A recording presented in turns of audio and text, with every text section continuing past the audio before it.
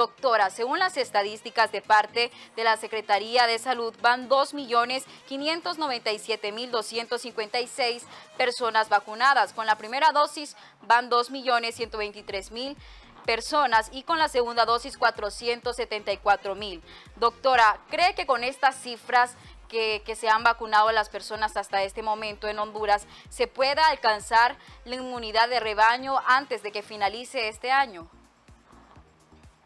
Bueno, lo cierto es que para alcanzar la inmunidad de rebaño, el 70% de la población, tiene que estar eh, inoculada, tiene que estar eh, vacunada. Eh, yo personalmente, de acuerdo con las proyecciones matemáticas, no, no se va a alcanzar. No se va. Si continuamos así como vamos, no se va a alcanzar. Tendría que ser más o menos 50 mil personas que se vacunen todos los días. Mira que muy bien las campañas que han hecho llamar vacunatón, que ya durante dos fines de semana se ha estado haciendo, qué bien, magnífico, excelente. Es, eh, en donde se ha vacunado alrededor de ciento y algo mil personas, 130 mil personas el fin de semana. Pero para que podamos tener la inmunidad de rebaño en, en el menor tiempo posible, en un año tendría que ser 50 mil personas diarias, no solo los fines de semana.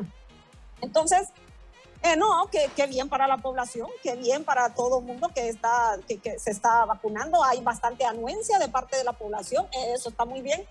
Pero para final de año todavía no vamos a haber llegado a la inmunidad de rebaño, o sea, el 70% de la población vacunada.